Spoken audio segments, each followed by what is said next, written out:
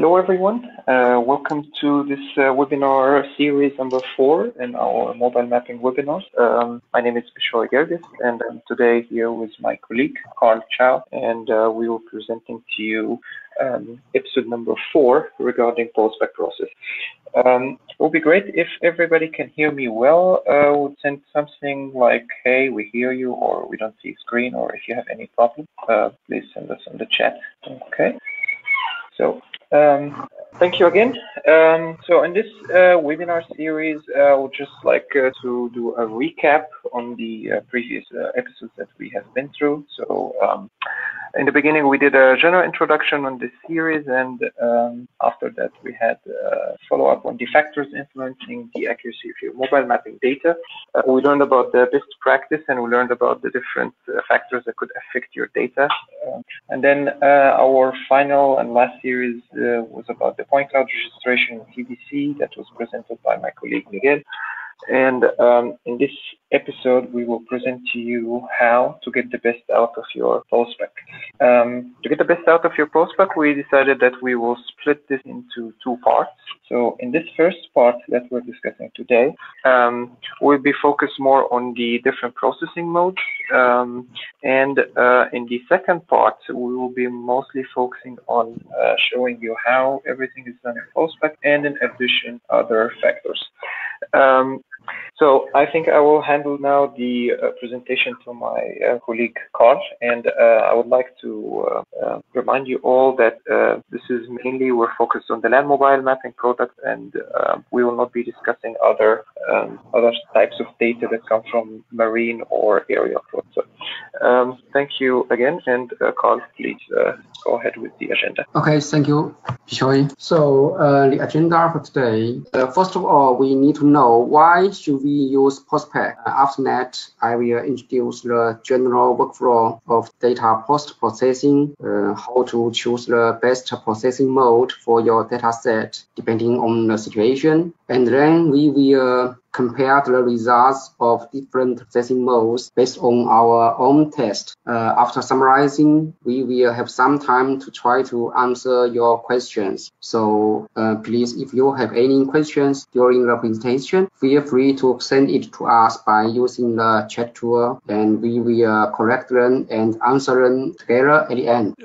So what is POSPac? What, why should we use POSPac? Uh, POSPac means the position and orientation system post-processing package, mobile mapping suite. And this is the post-processing software package for airborne, land, land and marine application. Uh, the advantage of uh, post-processing over the real-time solution is uh, there are no broken data link from reference station or VRS, and we with the post-processing we can process the data in forward and both and backward as well to calculate the sensors. Uh, with infusion technology, POSPac will help to improve the accuracy and uh, robustness of the trajectory.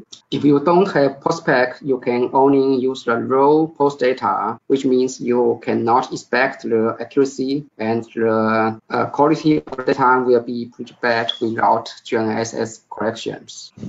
Um, what is infusion? So infusion technology uh, is using uh, used in POSPac to adjust the limitations of traditional high accuracy differential GNSS processing. So with the traditional uh, solution, we need to close to the to a reference station, and we need to maintain the GNSS signal checking. Uh, with infusion, there are two main improvements from the traditional methods. The tightly coupled processing and the IAKAR, which we will explain right after. Uh, from these two graphics, we can uh, see the difference of the standard loose coupled aided inertial navigation and the infusion tightly coupled processing. Uh, for standard loose, loosely coupled aided inertial navigation, the GNSS receiver computes the, its solution independently from the Kalman filter. But for infusion tightly coupled processing, the observables are processed by the Kalman filter. Uh, the key difference here is that the Kalman filter processes the raw pseudo range and carrier phase observables directly from the GNSS receiver, thus bypassing the navigation filter. Uh, this means the system will be able to benefit from GNSS observables even there are less than four satellites. This is quite useful, especially for land mobile applications when the GNSS signal is often obstructed.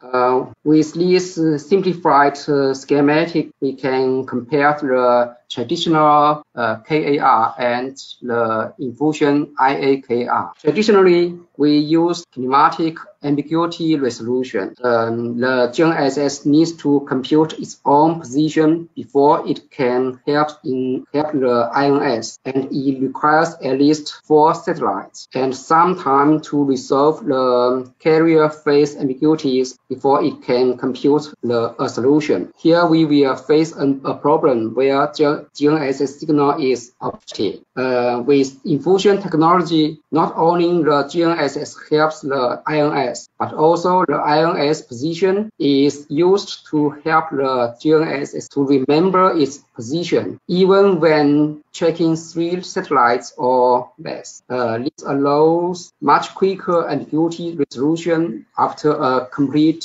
outage or allows keeping carrier phase ambiguities fixed, even if there are less than four satellites. Uh, in general, the data processing workflow is straightforward, but there are some choices that we can use to make your project better or worse. Uh, the workflow is quite simple.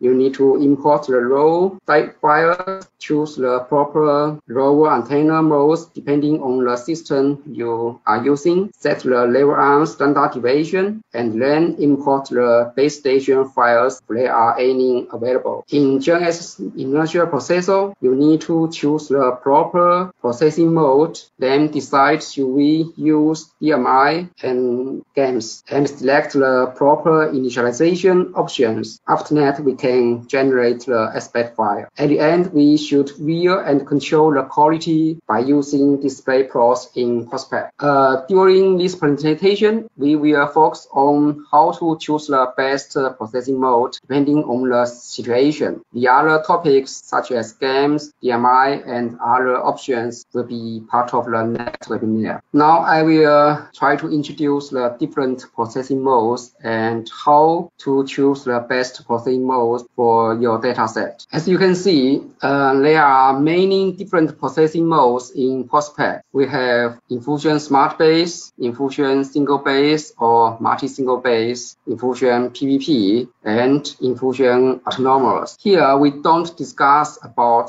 PPRTX because it's currently not part of the Trimble imaging portfolio. Also, we won't discuss about the GNSS snake because it's a loosely coupled processing mode and it's not recommended for land mobile applications. So I will start from the first one, uh, the infusion single base. What is infusion? Uh, what is single base? So it uses a single base to correct the GNSS pseudo ranges. It can use PS, GLONASS, BeiDou, Galileo, and QZSS satellites as well. Uh, from the graphic, we can see the base station location is known accurately, and then it receives the GNSS signals, calculates the pseudo ranges to the satellite, and determine the range error. After that, the base station will transmit the range corrections to the rover either in real time or for post-processing, uh, for example, in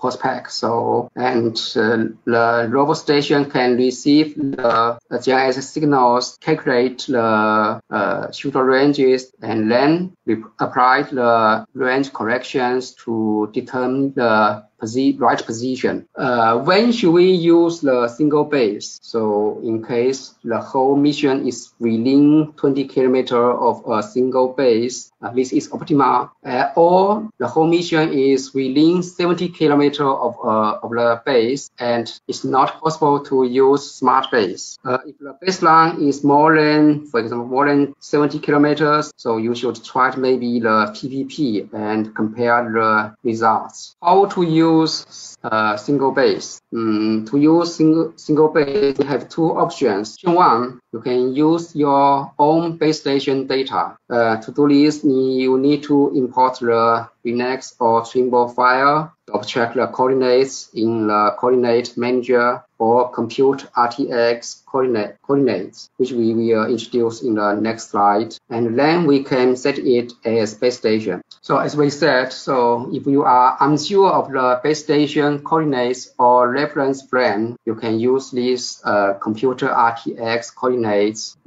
the second option to use single base is uh, to use the find base station tool in POSPac. Uh, open the front base station tool, select single base, and then the system will search uh, the base station within the search radius. Uh, using this option, you don't have to check the coordinates and the reference frame. Uh, note that you can also add your own GIS server basic database. What can we expect expect uh, from the single base processing mode? The positional accuracy depends on the baseline. Um, for short baseline, we within 30 kilometers, it's about two to five centimeters, and for long baseline within 100 kilometers, the accuracy is uh, less than 10 centimeters. Mm, note that so for short baseline, you should the mission within 30 kilometers and don't go further than 30 kilometers from the base. And for the long baseline, you should start and stop your mission within 30 kilometers and don't go further than 100 kilometers from the base. Uh, this means you should try to start and stop your mission close to the base station. Uh, the error increases by about one millimeter per kilometer of the baseline. As we said, so try to start and stop the mission near to the base, and this will help to improve the data quality. Similar to the single base, we have another processing mode called multi-single base. So uh, it uses various single bases to correct the GNS um, pseudo ranges. Each part of the trajectory is corrected by the nearest base. In other words, the nearest base is not always the same. It will be changed along the trajectory. Same as a single base, we can use G GPS GLONASS, BeiDou, and QZSS satellites. When should we use the multi-single base? So in case there are more than one nearest base along the trajectory and uh, your uh, mission is always within 20 kilometers of the nearest base, this is, this is optimal for our mission. Or in other case, the base data doesn't meet uh, smart base requirement. So in this case, we can use the multi-single base. Uh, this is typical for uh, long linear projects such as the long highways, uh, power line corridors, uh, especially if the conditions are not good for smart base. So we can use the multi-single base. How to use multi-single base? So we need to uh, select uh, multi multiple base stations to create the multi-single base station. The system will automatically uh, verify if the selected base stations will allow processing and then excluded exclude rows uh, which are not within the processing criteria. So for example, if a base is never the nearest base for your trajectory for all, for the whole mission, it will be excluded. Uh, once it is fin it finished, a new entity will appear in the project uh, explorer uh, and called uh, MTSBX. So multi multi single base X. The pos positional accuracy it depends on the baseline as well, same as the single base processing mode. So for short baseline, uh, within 30 kilometers, it's about 2 to 10 centimeters. And for long baseline, uh, within 100 kilometers, it's about, it's less than 10 centimeters. Um, so same as sing single base processing mode, for short baseline, you should start within 30 kilometers and don't go further than 30 kilometers from the base. And for the long baseline, you should start and stop your mission within 30 kilometers and don't go further than 100 kilometers from the base, which means you should start and stop the mission close to any one of your stations. Again, the, the error uh, increases by one millimeter per kilometer of the baseline. So in Fusion Smart Base, uh, what is Smart Base? It uses a network of base stations to correct the GNSS pseudo ranges. It looks like a virtual reference station concept, and, but optimized for mobile mapping applications. GNSS observables for GNSS observables for each epoch of the mission will be calculated as, uh, as if a reference station exists at the lowest location throughout the whole mission. We can use GPS and GLONASS satellites for this processing mode. When should we use Smart Base? So in case our mission is uh, within a network of at least four base stations and some parts of your mission are at more than 20 kilometers from your nearest base, as we can see from this graphic. So in this case, we can use the Smart Base processing mode. How to use Smart Base? First of all, we need to download the base stations and then run smart base quality check to see uh, if the base stations are acceptable to be used to build up the network. This is optimal. Uh, this is uh, op op optional. After that, we can run the Applanix smart base to process download the base station data, you can use the Find Base Station tool in POSPac. Select to use Smart Base in the lower left corner and change the search radius if needed. The system will automatically to track the data availability to download them. After post-processing, a network uh, surrounding the trajectory will be created. Ideally, uh, the trajectory should be completely, completely, completely inside the polygon. In addition to download the base station in POSPac, so you can also try to use your own base stations to, uh, for example, to fill the gaps or to densify the network, or even you can create the whole network from scratch. Uh, this will need some specific requirements. So if the position area of the base station is known uh, as less than 5 centimeters, you will need the base station data which cover 2 hours before your mission and then at least 5 minutes after your mission. If the position area of the base stations is unknown, so you will need at least 18 hours of continuous observation, free of data gaps and cycle slips for the smart base quality check. Uh, this is average out any multipath variations due to the changes in satellite positions. As we talked, so we can select a smart base quality check to perform a network adjustment the base station coordinates. Uh, this is optional. In case the error is bigger than 5 centimeters, uh, the base station will be indicated as bad position and its coordinate will be adjusted. If less than 18 hours of continuous observations, free of data gaps and cycle slips, the base station will be indicated as bad estimate and it will be disabled. After running a smart base, so GNSS statistics will be displayed and then a smart base region will be indicated in the plane view. What can we expect from the smart base processing mode? Uh, for base short baseline within 70 kilometers, so the positional accuracy is about 2 to 10 centimeter and For long baseline within 100 kilometers, it's about 10 to 15 centimeters. Uh, the entire mission should be within the smart network. And for short baseline, the rover should not extend further than 70 kilometers from the nearest base and should remain within the smart base network throughout the whole mission. And for long base baseline, the rover should not extend further than 100 kilometers from the nearest base and spend at least a few minutes within 70 meters from a base. Infusion PPP. So PPP means precise point pre, uh, positioning. It uses a network of GNSS reference stations uh, distributed worldwide to provide precise satellite orbit and clock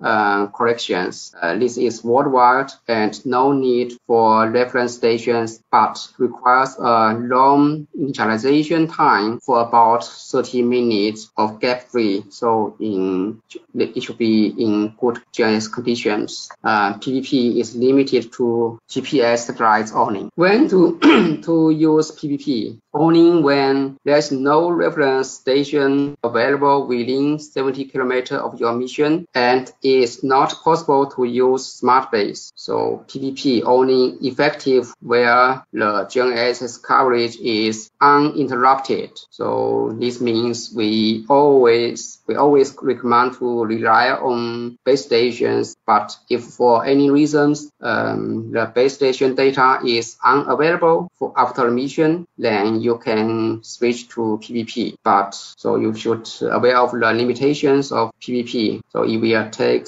it will take about 30 minutes of uninterrupted GNSS signal before it can coverage to its optimal precision. How to use PPP? So simply import raw raw data and in the GNSS inertia processor, select uh, Infusion PPP to run the processing. Uh, you need to accept the PPP download and select the express mode. The expected positional accuracy for PPP is about 10 to 50 centimeters. And again, so make a long static, uh, static initialization for about 30 minutes in area with good GNSS conditions. Next one is the uh, autonomous. Um, autonomous relies solely in, on the navigation devices and the ephemeris when should we use autonomous? Only when none of the previous uh, processing mode work. So um, autonomous is not recommended to be used. We always we normally use it for uh, support purpose to troubleshoot issues.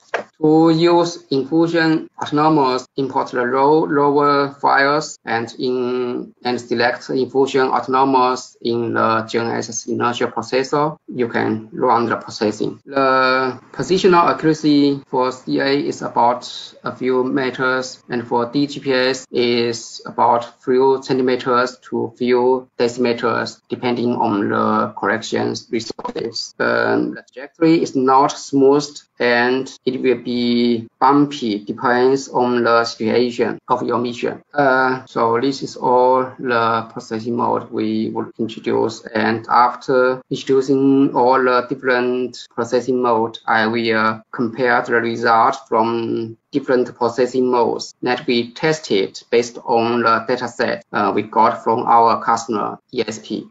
The goal for this um, comparison is to calculate and compare the relative accuracy of different processing modes. The method we use is to measure the relative distance between uh, multiple targets, which we can see from the multiple passes. Uh, we are not using GPS here as we don't want to be influenced by any error from the GPS a GCPS. So we only compare the re relative accuracy. Uh, in this test, both the GAMS and the DMI are disabled, and we compare the measured precision against the predicted preci uh, precision from POSPAC user guide and with uh, against the calculated precision from the SBET uh, RMS. Uh, here is the, the whole trajectory and the location of our target.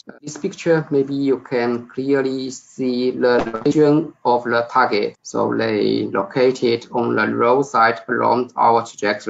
Uh, this is an uh, example of our target. It's a reflective rectangle on the pavement. Uh, the measuring method we use is we, we locate the center of each target hit and then we measure the distance between each hit and the average hits and the average hit location for this target. So we calculate the, start, the standard deviation, which gives us, the uh, estimation of the relative accuracy. Again, the relative position is not measured between the hit and the GCPS but between the hit and the average of the hit position for each target. Um, we repeat this pr process for each processing mode. As we said, so we, we compared the measured standard deviation with uh, calculated error RMS. To get the error RMS, we can go to the display plots. Under view statistics, we can get the calculated uh,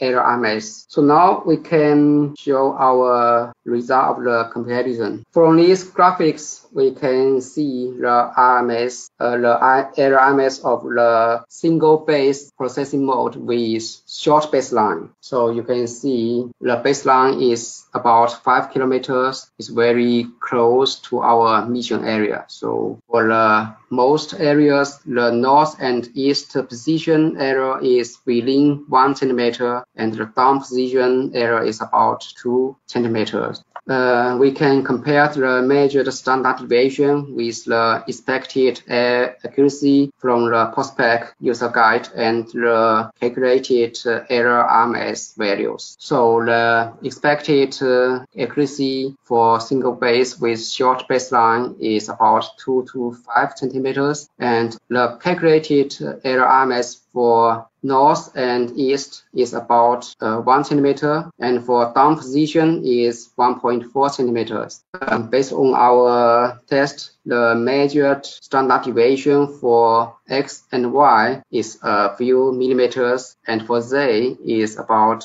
1.5 centimeter. The general standard deviation is about 1.8 centimeter and maximum 3.5 uh, centimeters. So you can see from the graphics, so on the right side, the all the target hits, all the target hits are overlapped uh, very well. So for single base processing mode with long baseline, uh, the for, for most areas the north and east position error is within 1.5 centimeter, and the down position error is about is within 2.5 centimeters. Um, the expected accuracy for single base with long baseline is less than 10 centimeter, and the calculated RMS of north and east position is 1.3 centimeters, and for down position is 1.8 centimeters. So you can see almost the same we got from our measured standard deviation. So for X and Y, it's about one centimeter and Z 1.7 centimeter. Uh, generally, the standard deviation of is uh, 2.3 centimeters and maximum 4.6 centimeters.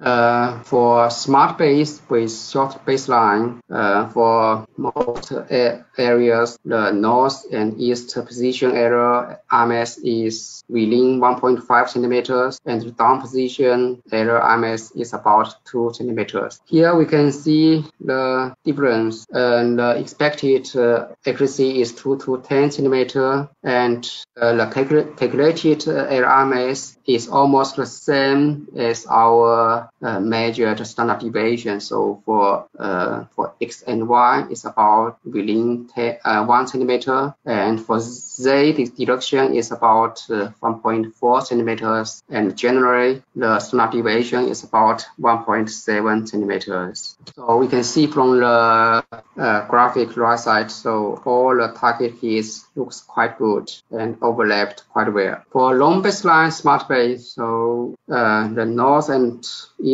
position error RMS is within 2 centimeter and down position is about 2 to 2.5 centimeters. With the expected 10 to 15 centimeters accuracy, we after the calculated error RMS and the measured standard deviation, we got about uh, 1 centimeter in XY direction and 1.6 in Z direction. And the general, general standard deviation 2.1 centimeters uh, you can see all the target hits are overlapped a bit less than the others, but it's very good. Uh, for PPP, the north and east position arrow is within 25 centimeters and down position arrow RMS about 35 centimeters. Um, with the expected LC accuracy of 10 to 50 centimeter, um, so we get a, we get a bit different uh, compared to the calculate RMS and the measured standard deviation. So uh, for the error RMS, the north and east is about within 20 centimeters, but the standard deviation for X direction is about 20, uh, 40 centimeters. Uh, and the general general standard deviation is uh, 45 centimeter and maximum more than 90 centimeters. We can see from the right side, uh, all the target hits are not well overlapped. For autonomous, the position error RMS is a few meters, and same we expect the accuracy is a few meters. Based on our measured standard deviation, looks uh, quite better than the calculated error RMS, but um, it still reaches 80, uh, 60 centimeters in general. Uh, we also test the real-time solution. So as you can see, uh, the error RMS looks uh, Uh, unstable and which is which is a few meters. The measured standard deviation is about uh, 2.4 meters. We can see from the trajectory on the right side. Uh, so uh, these are hits from the same target. So the pink lines are the real-time trajectory and the green lines are the calculated trajectory in POSPac. We can see that the relative position, uh, the relative precision of real-time solution is very low. Also, we can see here from this graphic, so for the same target, they are totally way off. Uh, here is an overview of all these uh, processing modes. Uh, in general, uh, most of the processing modes are within our expectations. So expect the PPP. So you can see the PPP is a bit uh, out of the expected accuracy. This may be because of the GNSS um, is uh, objective. Uh, some of the processing modes are even better than expected. So for, for example, the smart base and the single and the single base, uh, short baseline and autonomous as well. So especially the smart base, you can see the accuracy is quite good and, and uh, uh, this is might because of the uh, good uh, network polygon of our network. Also today we learned about to how to use POSPac to uh, improve the accuracy of the data. We learned that infusion technology is useful for land mobile systems. We need to choose the proper processing mode based on the uh, base station avail availability and the shape of the trajectory as well. Uh, infusion tightly coupled processing mode are recommended for our land mobile systems. So based on this uh, single base, a single base or multi-single base and the smart base are recommended uh, the PPP and uh, autonomous. Uh, even we don't have POSPac, we can still use the real-time raw data, but we cannot expect the accuracy. And it will be unstable, depends on the environment. Uh, here is some. Here are some uh, reference you can use. So the first one is the POSPac uh, GIS Inertia Tools user manual. So generally you can find everything for POSPac post-processing in this manual. And uh, you can also see the POS LV installation and operation guides. Uh, the third one is an article about the infusion technology. You can have a look on it. Um, next time, we will introduce the second part of uh, getting the best out of POSPac. Uh, it will involve the GAMS, DMI, initialization options, and put our hands on the software. Uh, this is scheduled for October 15th. So now is the time for questions. Uh, if you still have new questions, you can send it to us by using the chat tool. Or if you have any questions after the webinar, please feel free to contact us by send an email to imaginesport at gmail.com. Thank you. So, so All right. Thank you, uh, Carl, for the presentation. And uh, we will be taking uh, your questions now. So um, I have a couple of questions that I have received during the presentation. And uh, please feel free to send anything uh, via the chat or the questions. All right, so uh, we have a question here asking uh, how many base stations I need for smart base method. Um, so for the smart base, you will need at least four base stations and it can handle up to 50. Um, we have another question asking, um, after processing, I need to export latitude, longitude, height with GPS second and week. Um, I cannot export to GPS second. So um, this is a bit out of the scope of the presentation, but um, we'll be discussing uh, similar tools in the next webinar, but um, for the sake of answering this question, you can simply use something called the profile manager. Um, and in the profile manager, you could basically um, design your own format uh, that you would like to export. And uh, from that format, you could choose what time format you would like to have with your entry. And in the time format, there are so many time formats, and I've just checked at the moment and I could see everything that you're asking for. So please look for the profile manager and if you own POSPac already, you could look on this in the manual. All right. Um, a question saying, um, am I right if I process with GAMS and DMI, the solution will be the best solution to process data? Um, so we will not go through processing with GAMS and DMI now, as uh, we explained. Um, so this is um, this this webinar is only about um, choosing the best processing modes from the diff different infusion, single base, multi-single, or smart. Um, in the next webinar, we will be going into details on using GAMS and DMI. Also, we've explained um, in a previous episode of the series um, how can the GAMS and DMI both influence and affect your data. So um, both together could give you an idea on when to use or when not to use GAMS or DMI. Okay. So another question asking, can we export the TRJ file from POSPac? Hmm. I'm not actually sure about uh, what is a TRJ file format, um, but as I mentioned before, POSPac offers lots of possibilities to export your data, um, either in the sbet.out binary format, or you could export as KML. You can also use this profile manager to export in your own customized format. Okay, we have a question now. Is it available to use different datums in GeoRead? Um, not sure what you mean exactly using different datums in GeoRead. If you mean by exporting your data um, or setting uh, different datum GeoRead for your base station. So maybe you could just uh, write me again on this one certain data for base station.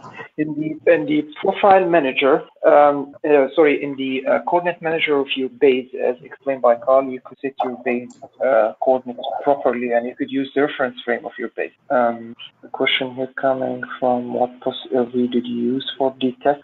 So uh, for the that test we use AP40. All right. So we still have nine more minutes. So feel free to ask anything you would like. Okay. So, one last question coming here. Oh, two more. Okay. Um, is it right single base is better than multi-single base? Um, well, the whole point of this presentation is that we show you the different processing modes so you could choose based on your uh, data shape based on your area. We cannot tell you now what is better. There is no better or worse. There's just a better for different scenarios. So um, I cannot tell you. This is uh, the, the whole point here is that we, want you to choose the best based on your, um, on your on your trajectory. So we cannot say what is best or or or, or not. Um, question: Any idea where Smart Base download is available? So um, there is a service that um, that Applanix connected to. So your POSPac is connected to the default service that downloads available base stations, and this is just simply the button that is called Find Base Station and POSPac. If you would click the button as was shown in the presentation, you'll get a list of all the available smart base that you uh, sorry, base stations that you could download.